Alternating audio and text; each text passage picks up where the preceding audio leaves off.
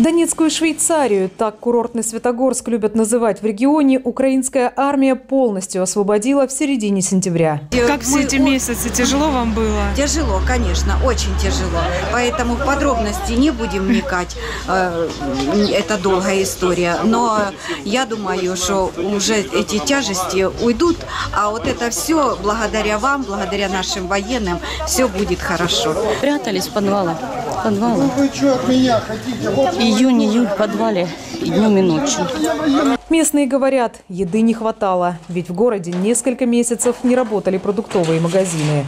После освобождения Светогорска от российских оккупантов сюда каждый день привозят гуманитарную помощь. В городе возобновила работу пекарня.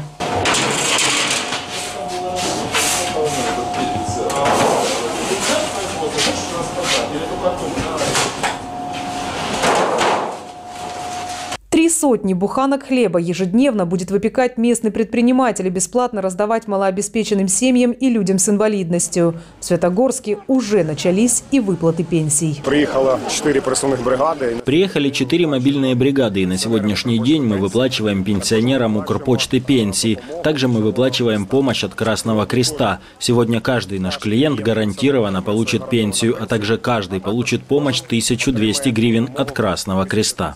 В освобожденном от российских оккупантов городе появилась мобильная связь. Но Светогорск по-прежнему остается без централизованной подачи воды и электричества. А городская инфраструктура разбита российскими снарядами. Розроблений чіткий алгоритм дій Разработан четкий алгоритм действий Офисом президента и военными администрациями, областной, районной и городской, которым мы сейчас руководствуемся. Эвакуацию людей с деоккупированных территорий, в том числе и Донецкой области, в более комфортные города для проживания уже провели. Это главная задача и задача номер один, потому что зимний период на деоккупированных территориях будет очень сложным.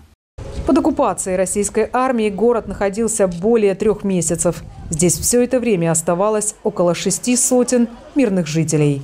Алена Грамова для телеканала «Фридом».